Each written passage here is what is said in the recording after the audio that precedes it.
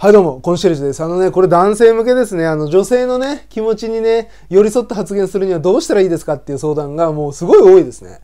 ですごい多くて、で、僕も動画でちょいちょいは言ってるんですけど、それでもちょいちょいすごい多いんで、まあ、またちょいちょい出していきますが、はい、答えはですね、相手の気持ちの、心のその中身の、心の声を僕らの口から言うってことです。それだけ。相手の気持ち考えてみて、今なんか文句言ってきたぞ、このこの彼女って。この妻、この彼女、文句言ってきた。その心はね。心はって思ってください。その心はって思って、その心そのまま言うことです。だから基本自分のこと言うことになるの。なぜならその心はこっちに対して腹立ってるから何かを。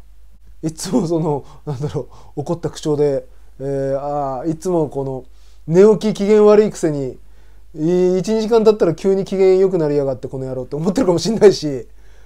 だからそういう時はまあ僕のことなんですけど 僕ねまあ睡眠時間はちゃめちゃだから仕事柄。仕事柄結構はちゃめちゃなんですけど。だからその常に眠たいんですよ。常に眠たくて。で起きた時に眠たいからちょっと機嫌悪いんですよね。若干。ああだりああおはようございますっつって。で奥さんが何か作るって。ああ分かんない今それは。ってなっちゃう。だからもうそのご飯とかも何を食べればいいのかも分かんないしトーストにバター塗るいやどっちがいいんだろうかもう分かんないんで決めてくださいっていう、うん、バターの牛乳いる？いや分からないです。もうじゃあ入れいいですってなっちゃう。超めんどくさいでしょ。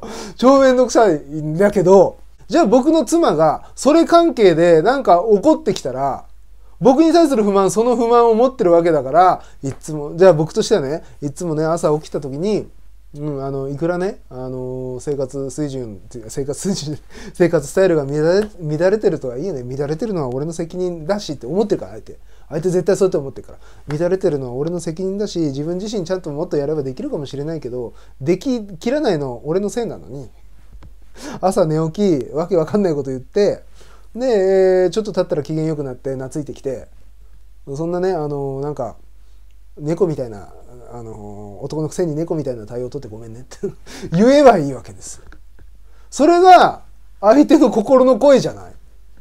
したらその相手どうどう思うかっていうと簡単に言うとうんその通り合ってるってなるの。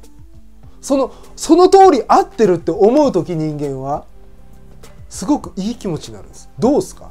反論されておめえそれちげえからって言う時にムカつくでしょ一番。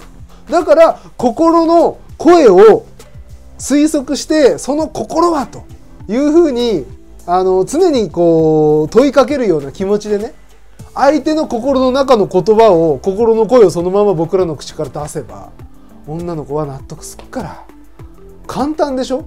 ただその推測が難しいかもしれない。あのやり方は簡単。